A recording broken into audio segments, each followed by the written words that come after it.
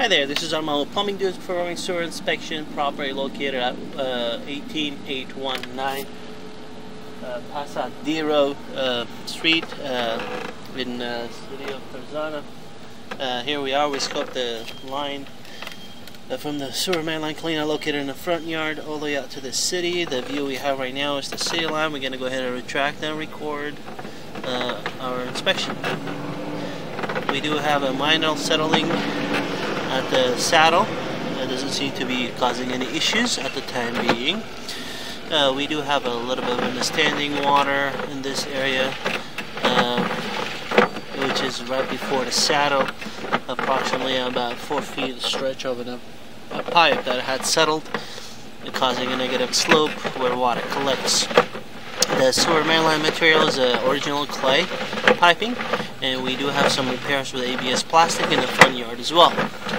Recommend to check the records and permits on all the repair that has been performed.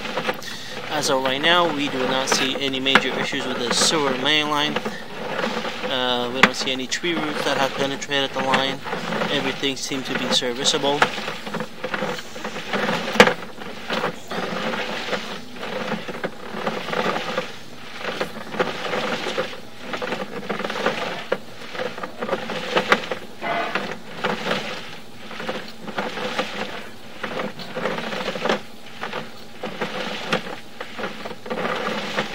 Recommend to check the records and permits on any work that has been done on the sewer main line in the front yard, the ABS plastic portion.